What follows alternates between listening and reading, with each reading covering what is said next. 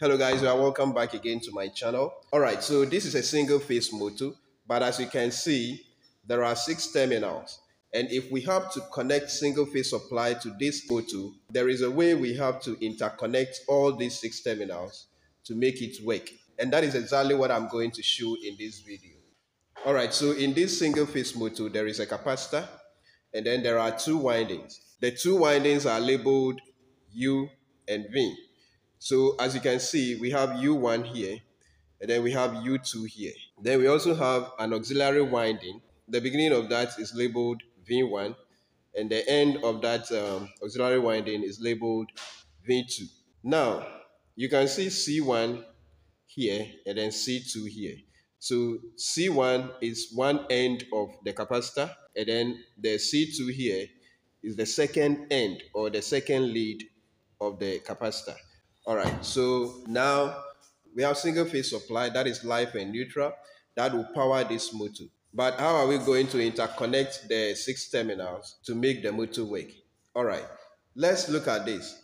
So first of all, there is a simple thing you have to understand to make this connection very easy. All right, so as much as possible, I'm going to give an explicit explanation so you can be able to easily connect this to supply by yourself. So I, I said that we have a main winding, which is U1 and U2.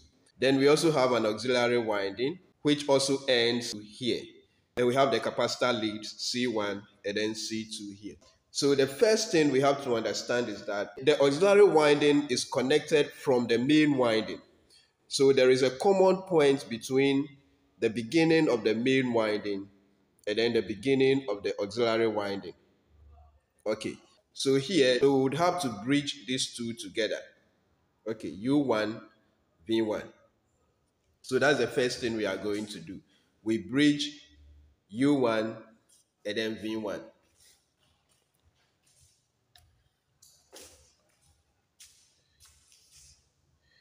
So this is U1 and V1.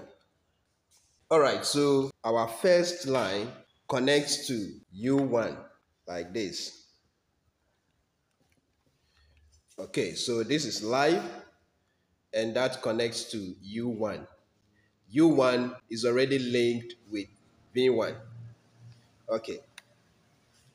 All right, so now we are left with the two connections from the capacitor and then the ends of the main and auxiliary windings. Okay, so simply this is what we are going to do. One of the capacitor connection will be linked with the end of the main winding, and then the other end of the capacitor will be linked with the end of the auxiliary winding. Okay, so C1 to U2.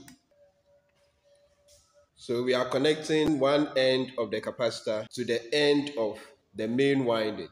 And then again, we'll connect the other terminal of the capacitor to the end of the auxiliary winding, like this.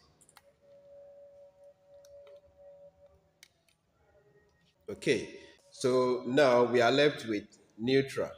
Okay, so our final connection to make our single phase motor work is the connection of the neutral.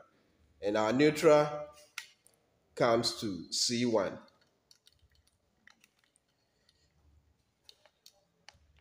Okay. All right. So we have live and neutral. And this is how the terminals are supposed to be connected. So here, if I switch on the supply now, our motor will start working. All right. So let's switch on the power. So simply, this is how to wire a single phase motor that comes with six terminals like this. Usually, these connections I have done are normally done most of the times these connections I have done externally are usually done inside the motor. And then only two provisions will be made for connection to live and neutral. But actually, the various windings that are connected together and brought out are actually six.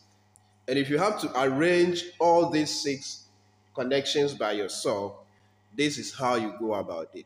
All right, so in the next video, I'm going to show how to connect a three-phase motor that comes with six terminals. So stay tuned and let's learn together. Thank you very much for watching this video. Please, if this is your first time, kindly do well to subscribe And if you have learned something useful from this video, kindly share with your friends and give it a thumb up. Thank you very much again. See you in the next video.